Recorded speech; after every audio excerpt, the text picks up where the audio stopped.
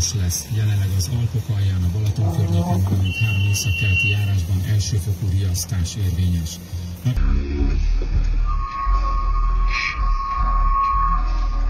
Viharos lesz. Jelenleg az Alpok alján, a Balaton környékén, valamint három északkeleti járásban elsőfokú riasztás érvényes.